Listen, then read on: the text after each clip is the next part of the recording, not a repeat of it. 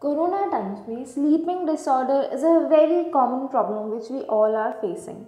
So let us learn about sleeping disorder that is insomnia जिस पे कई movies बनी है. So welcome to Dental and Ayurveda, a channel for basic dental and basic Ayurvedic sciences. And our today's topic is very important that is Anidra insomnia. Before proceeding I would like to thank you for your support and इस chapter की ready to read notes available है हमारे Instagram page पे, जिसका link given है description box में. So do support us there hello दोस्तों welcome back to our channel आज हम पढ़ने वाले हैं अनिद्रा रोग के बारे में. दोस्तों, अनिद्रा रोग मनोवय स्रोतस की व्याधि है. अगर आप मनोवय स्रोतस का परिचय जानना चाहते हैं तो आप इसी वीडियो के डिस्क्रिप्शन बॉक्स में चेकआउट कर सकते हैं. दोस्तों, अनिद्रा को मॉडर्न में इंसोमनिया से रिलेट किया जाता है। मतलब कि नींद ना आना। अनिद्रा व्याधि को निद्रा नाश भी कहा जाता है। दोस्तों, अनिद्रा व्याधि बात और पित्त दोष के प्रकोप से होती है। और यह एक स्वतंत्र व्याधि भी है। वह अनेक व्याधियों में पाए जाने वाले एक लक्षण के रूप में भी उत्पन्न होती है।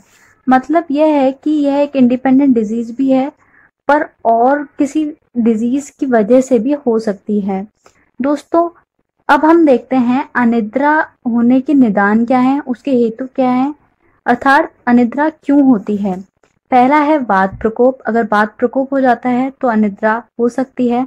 पित्त प्रकोप से भी अनिद्रा होती है। थर्ड है, मन है संताप। दोस्तों, अगर मन अत्यधिक दुखी हो तो भी अनिद्रा हो जाती है। फोर्थ है धातुशय मतलब कि जो रस, रक्त आदि सात धातुएँ हैं उनका अगर क्षय हो जाए, उनमें कमी हो जाए तो भी अनिद्रा होती है। दोस्तों फिफ्थ है अभिघात इसका अर्थ है कि शरीर पर कोई झटका लगना या चोट लगना। दोस्तों तो ये थे अनिद्रा के निदान। अब हम आगे देखते हैं on the right hand side कि जब अनिद्रा होती है तो उसके, उसमें क्या क्या लक्षण मिलते हैं। पहला तो अनिद्रा ही खुद ही है कि अनिद्रा में नींद, निद्रा नाश हो जाता है, नींद नहीं आती है। सेकंड है आलस्य. थर्ड है अंग गौरव. मतलब कि शरीर के जो अंग हैं ऑर्गन्स हैं, उनमें भारीपन आ जाता है. फोर्थ है नेत्रधा मतलब कि आईज में बर्निंग सेंसेशन होता है. फिफ्थ है अरति. इसका अर्थ है होता है असंतोष. तो मतलब जब मन में असंतुष्टि की भावना रहती है, उसे हम अरति बोलते हैं. सिक्स है शुद्धानाश. इसका अर्थ है भूख का नष्ट हो जाना. मतलब जब भूख नहीं लगती है और सेवेंथ है शिरशूल मतलब कि हेडेक तो दोस्तों, यह था अनिद्रा का व्याधि परिचय, निदान व उसके लक्षण. अगर आपको ये वीडियो पसंद आया हो then please do hit the like button share with your friends and subscribe करो ना यार डेंटल एंड आयुर्वेदा को.